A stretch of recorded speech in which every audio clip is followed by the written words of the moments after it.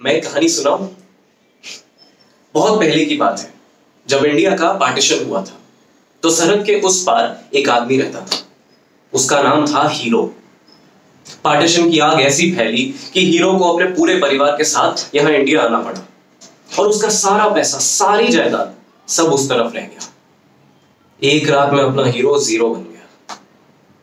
Sorry sorry correction वो तो hero था हीरो ज़ीरो कैसे बन सकता था?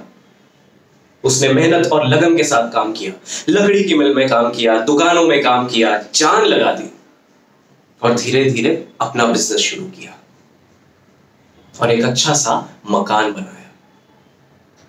और फिर उसका बेटा आया, नया हीरो। इसने भी मेहनत की, बच्चों को पढ़ाया, लिखाया साथ साथ नौकरी भी की, पुराने बिज़नेस को संभाला और पुराने मकान को और बड़ा किया। और फिर उसका बेटा आया। अब ये अपना हीरो है हुँ?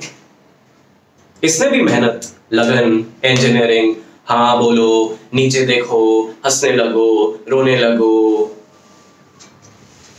एक दिन अपने हीरो को दिल और दुनिया के बीच में यहाँ से कोसों दूर एक साथी मिला।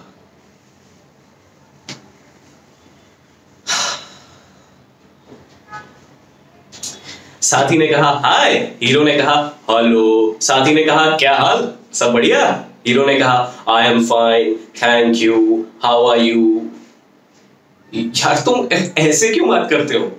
कैसे? ऐसे मशीनों की तरह? अरे अरे, रुको। कहाँ जा रहे हो?